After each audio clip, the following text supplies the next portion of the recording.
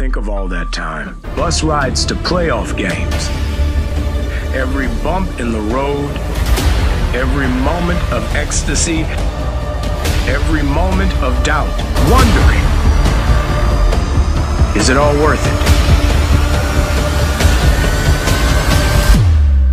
It's all led to this. They said I won't be nothing, now they always say congratulations